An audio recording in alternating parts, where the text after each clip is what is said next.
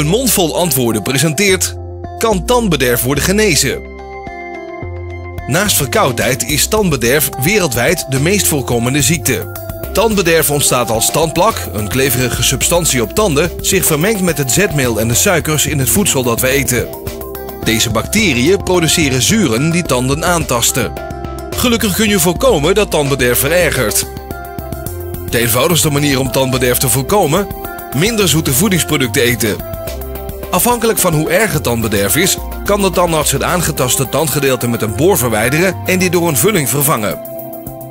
Een andere manier om te voorkomen dat tandbederf verergert is een uitgebreide mondverzorging met onder andere fluoride tandpasta en een elektrische tandenborstel.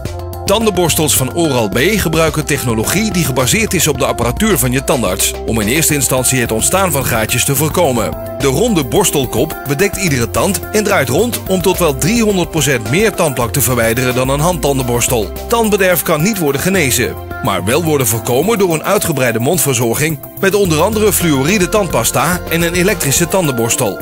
Een gezondere mond begint met Oral-B. Oral-B. Poets als een pro.